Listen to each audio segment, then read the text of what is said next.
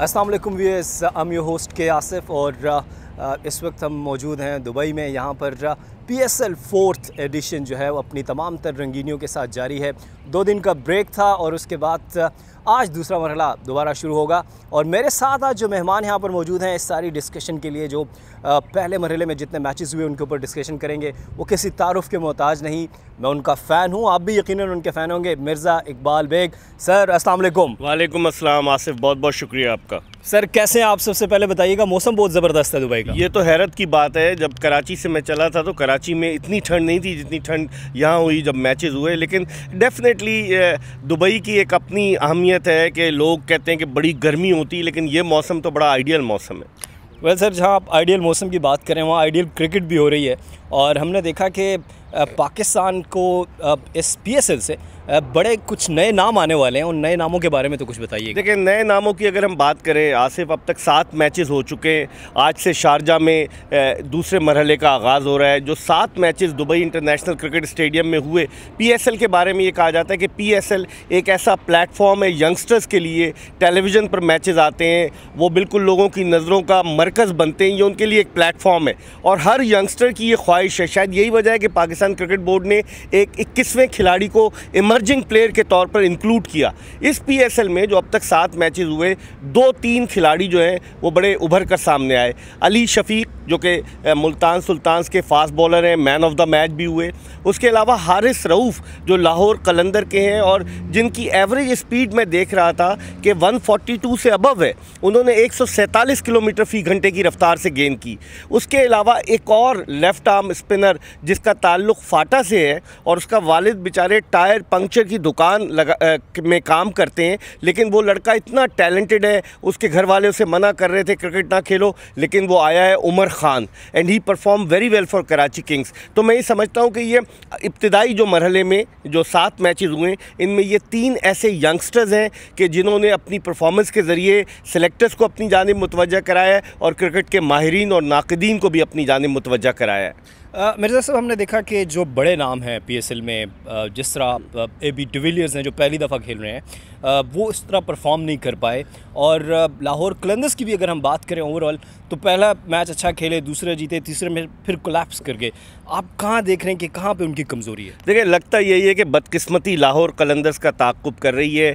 پورے سال وہ ڈیولپمنٹ پروگرام کرتے ہیں ینگسٹرز کو نکالتے ہیں۔ ابھی حارث روف کی میں بات کر رہا تھا، یہ آسٹریلیا گیا تھا، وہاں آسٹریلیا میں کھیلا۔ اور جب بھارتی کرکٹ ٹیم آسٹریلیا کے دورے پر تھی، تو حارث روف نے بھارتی کرکٹ ٹیم کے نیٹ میں بولنگ کی وراٹ کوہلی نے تعریف کی، اس کی سپیڈ بڑی زبردست ہے ینگسٹر ہے۔ تو لاہور کلندر کا یہ سیٹ بیک ہے، یا تو بدقسمتی ان کا تعاقب کر رہی ہے، کسی کالے بکرے کو وہ قربان نہیں کرتے، اس کا صدقہ نہیں دیتے، کوئی نہ کوئی چیز ضرور ہے۔ اب آپ دیکھیں، پہلے سیزن میں آصف، ان کے کپتان تھے اظہر علی۔ پھر اس کے بعد جب اظہر علی چلے گئے تو برینڈن میکلم اب آئے اے بی ڈیویلیز اے بی ڈیویلیز ایک بہت بڑا نام ہے انٹرنیشنل کرکٹ کا۔ اب تک وہ ایڈجسٹ نہیں ہو پائے، لیکن مجھے امید ہے کہ یہ تین میچز ہیں۔ ابھی اور ان کی ٹیم کو میچ میچز مزید کھیلنے، اے بی ڈیویلیز پہ اب کپتانی کی بھی ذمہ داری ہو گئی ہے، حفیظ آؤٹ ہو گئے، تو وہ ہمیشہ سے اچھا پرفارم کرتے رہے، اے بی ڈیویلیز اچھے ہیں۔ فخر زمان، بڑا ٹیلنٹڈ پلیئر ہے، لیکن جس طریقے سے وہ آؤٹ ہو رہا ہے، سہیل اختر کے ساتھ پارٹنرشپ ہوتی ہے، پھر لاہور قلندر جو ہے ایک دم سے بیٹھ جاتی ہے۔ تو یہ ساری چیزیں ان کے ہیڈ کوچ عاقب جاوید کو دیکھنی ہوں گی۔ اس ٹیم میں پوٹینشیل بہت ہے۔ رانا فواز صاحب کہہ رہے تھے کہ اس مرتبہ ہماری ٹیم جو ہے وہ ٹرافی تک رسائی حاصل کرنے کی کوشش کرے گی۔ دعا کریں کہ ایسا کوئی سلسلہ ہو کہ ان کی ٹیم آگے آئے، کیونکہ ان کے فین فالوئنگ بہت ہے ان کی۔ آپ دیکھیں، بہت زیادہ فین فالوئنگ ہے۔ ویل سر ہم ڈے فرسٹ کی بات کریں تو انوگرل سیرمنی جو تھی، اس دفعہ بڑی کلرفل تھی۔ آپ سمجھتے ہیں کہ جو پچھلی پی ایس ایل تھی، اس سے بہتر تھی یہ سیرمنی دیکھیں، آصف، میں تینوں پی ایس ایل اس سے پہلے کور کر چکا ہوں، دو ہزار سولہ، سترہ اور اٹھارہ کی۔ لیکن اس پی ایس ایل کی جو تقریب تھی، میں کہتا ہوں کہ اتنی زبردست تقریب تھی کہ جس طرح کے گرافکس تھے، جس طرح کی ٹیکنالوجی استعمال کی گئی ایکسلنٹ اور ٹیلی ویژن پر اگر دیکھیں تو اس کا حسنی دوبالا ہو جاتا تھا۔ تو بہت زبردست تقریب تھی۔ آپ دیکھیں کہ اگرچہ پٹ بل نہیں نہیں آئے امریکن سنگر لیکن پاکستانی سنگرز نے اپنے فن کا جادو جگایا اور جو ایک نیا اسٹائل تھا پاکستانی کلچر کو انہوں نے روشناس کرایا کہ ڈھول لے کر لوگ کھڑے ہوئے ہیں۔ ٹیموں کے لیے انہوں نے ٹیموں کے پرچم لگائے۔ ایکسلنٹ جس طریقے سے اس کو کیا گیا تھا، میں سمجھتا ہوں اس کی ریہرسل میں بہت زیادہ وقت لگا ہوگا، لیکن یہ تقریب دیگر تین پی ایس ایل کے مقابلے میں ایک بڑی یادگار اور منفرد تقریب تھی۔ اب پاکستان کرکٹ ٹیم کافی عرصے سے ایک جینون فاسٹ بالر کو جو ہے وہ مس کر رہی ہے۔ آپ سمجھتے ہیں کہ کہیں نہ کہیں حارث روف ایک پراسپیکٹ ہو سکتے ہیں۔ چانسز ہیں۔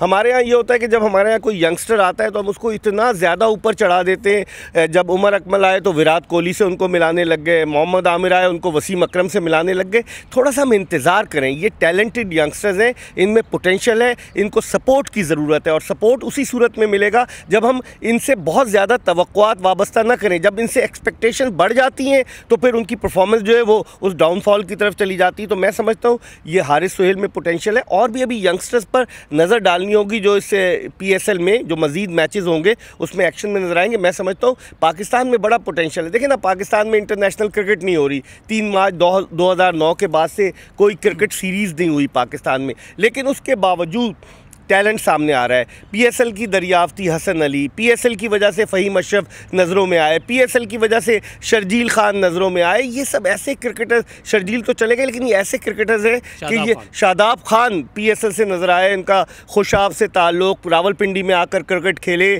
اور پھر اس کے بعد جس طریقے سے انہوں نے کامیابی کی منازل طے کی مجھے اچھی طرح سے یاد ہے سیکنڈ پی ایس ایل میں جب وہ پریس کانفرنس کے لیے آئے کوئی نہیں انہیں جانتا تھا لیکن میں انہیں جانتا تھا کیونکہ وہ انڈر نائنٹین ورلڈ کپ میں پاکستان کی نمائندگی کر سک کر چکے تھے بنگلہ دیش میں۔ پھر میں نے اپنے دوستوں کو بتایا کہ شاداب خان ہے ینگ پلیئر لیکن he has come up to the expectations اب تک یہ شارٹر ورژن میں آئے ہیں، لیکن ان کو اب لانگر ورژن میں اور ون ڈے میں بھی اپنی صلاحیتوں کے جوہر دکھانا ہوں گے۔ اب ہم دیکھ رہے ہیں کہ کوئٹہ گلیڈیٹرز بڑا اچھا پرفارم کر رہی ہے۔ آپ عمر اکمل کی بات کر رہے تھے۔ عمر اکمل بڑے اچھے ٹچ میں نظر آ رہے ہیں۔ ان کے پاس بہترین موقع ہے کہ وہ قومی ٹیم میں دوبارہ اپنی جگہ بنا سکتے ہیں۔ دیکھیں، اس وقت مڈل آرڈر میں سلاٹ تو خالی ہے اور پاکستان کرکٹ ٹیم کے کوچ بھی کہہ چکے ہیں، کپتان بھی کہہ چکے ہیں کہ پی ایس ایل کی پرفارمنس کو وہ مانیٹر کریں گے۔ عمر اکمل کی خوش قسمتی ہے کہ وہ جس ٹیم میں شامل ہے، اس کے کپتان سرفراز احمد ہیں۔ اور سرفراز احمد کی ریکمنڈیشن بھی بڑا کاؤنٹ کرے گی۔ آپ اس کا اسٹرائک ریٹ دیکھیں۔ اب تک دو میچ کھیلا ہے۔ ایک سو باون کا اسٹرائک ریٹ ہے عمر اکمل کا۔ ایک میچ اس میں چھکا لگا کر اننگز شروع کی اور چھکا لگا کر اننگز ختم کی اور جس طریقے سے وہ پرفارمنس دے رہا ہے، ایک سو انیس رنز اب تک بنا چکا ہے۔ میرے خیال میں عمر اکمل پر سب کی نظریں، میری کل اس سے بات ہوئی وہ یہ کہہ رہا دعا کریں کہ بقیہ میچز میں پرفارم کروں۔ لگتا ہے وہ جو ایٹیٹیوڈ کا اس کا پرابلم تھا، اس کو اس نے سالو کر لیا ہے۔ اس کے فادر ان لا عبد القادر نے بھی اس کو یقیناً بتایا ہوگا، کامران اکمل نے بھی بتایا ہوگا، بہت پوٹینشیل ہے، بڑا ٹیلنٹڈ پلیئر ہے کہ جس نے آپ دیکھیں نیوزی لینڈ میں اپنے کیریئر کے پہلے ہی ٹیسٹ میچ میں سینچری اسکور کی اور ایسے کھلاڑی پاکستان کرکٹ کا اثاثہ ہے سرمایہ ہے ان کو صرف ہینڈل کرنے کی ضرورت ہے۔ اگر عمر اکمل کو پراپر طریقے سے ہینڈل کیا جائے، اس کا ایٹیٹیوڈ کا پرابلم ختم ہو جائے، وہ کرکٹ پہ کنسنٹریٹ کرے، تو آئی تھنک مڈل آرڈر میں اس سے اچھا بیٹسمین اور کوئی نہیں ہوگا۔ ویل اب تک جتنے میچز ہوئے ہیں، وہ اراؤنڈ جو ایوریج بنتی ہے وہ آپ بتا بھی رہے تھے مجھے جس طرح۔ آپ سمجھتے ہیں کہ جو پہلے باری کر رہے ہیں بیٹنگ کر رہے ہیں، جو جو بھی ٹیم باری کری ہے، اس کو ایج مل رہا ہے یا چیزنگ میں ایج مل رہا ہے؟ کیا سمجھتے ہیں؟ دیکھیں، آصف اگر اب تک جو سات میچز ہیں، اگر ہم ان کا جائزہ لیں، دو ہزار پانچ رنز مجموعی طور پر اسکور ہوئے ہیں سات میچز میں۔ دو ہزار پانچ رنز اور اگر آپ ان کا ایوریج نکالیں، کیونکہ چودہ اننگز بنتی ہیں، تو جو ایوریج بن رہا ہے، وہ تقریباً ایک سو بیالیس رنز پر اننگز کا بن رہا ہے۔ ٹی ٹوینٹی کرکٹ میں اب تو آپ دیکھیں کہ ون ڈے کرکٹ میں چار سو رنز بن رہے ہیں، تو ٹی ٹوینٹی کرکٹ میں لوگ یہ توقع کر رہے ہیں، جس طرح آئی پی ایل میں ہوتا ہے کہ دو سو سے زیادہ رنز بنے۔ جب تک چھکوں چوکوں کی برسات دیکھنے کو نہیں ملے گی، شائقین کرکٹ کے لیے کشش کا سبب نہیں ہوگا۔ تو میں سمجھتا ہوں کہ یقیناً یہ ایک بڑا امپورٹنٹ آسپیکٹ ہے۔ شارجہ میں آج سے میچز شروع ہو رہے ہیں، دیکھتے ہیں کہ شارجہ میں کیونکہ شارجہ کی وکٹ بیٹنگ پیراڈائز کہلاتی ہے بیٹسمینوں کی جنت اور ٹی ٹوینٹی کرکٹ کے لیے آئیڈیل ہے۔ تو آج جو میچز شروع ہوں گے، جس طرح سے آج ملتان سلطانز کا مقابلہ ہے، تو ہم دیکھتے ہیں کہ آج کے میچ کے بعد کیا سچویشن بنتی ہے؟ کس طریقے سے وکٹ کا بیہیویئر ہوتا ہے اور کس طریقے سے بیٹسمین ڈومینیٹ کرتے ہیں؟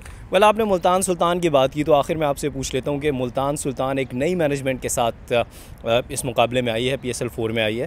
ملتان سلطان کو آپ کیسا ریٹ کر رہے ہیں؟ ساری ان کی مینجمنٹ کے بعد ان کے جو پلیز ہیں اس کو آپ کیسے ریٹ کریں؟ دیکھیں، آصف ملتان سلطان کو اس پی ایس ایل میں سب سے تجربہ کار کرکٹر شعیب ملک کی خدمات حاصل ہیں، جو کپتانی کر چکا ہے، جو شروٹ کیپٹن ہے، جو سیال کوٹ کی ٹیم کو کامیابی کی راہ پر گامزن کر چکا ہے، جو کیریبین پریمیئر لیگ میں بہترین پرفارمنس کر کے مین آف دا ٹورنامنٹ ہو چکا ہے۔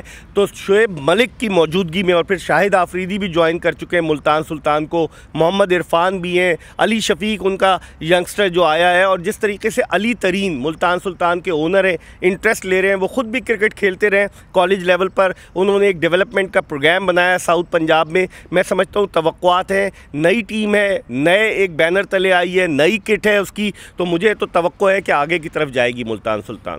Thanks for being with us Mirza Iqbal Baig it is always a pleasure بہت بہت شکریہ آپ کا. ویل uh, ناظرین، آپ نے دیکھا کہ ہم مرزا اقبال بیگ کے ساتھ بات کر رہے تھے کہ اب جب اب تک جتنے میچز ہوئے پی ایس ایل میں ہم نے ان کے اوپر بات کی، آنے والے راؤنڈ کے اوپر بات کی۔ امید کرتے ہیں کہ آپ اس کو انجوائے کریں گے اور مزید فن اور انٹرٹینمنٹ کے لیے دیکھتے رہیے اسپورٹس ویئر تھری سکسٹی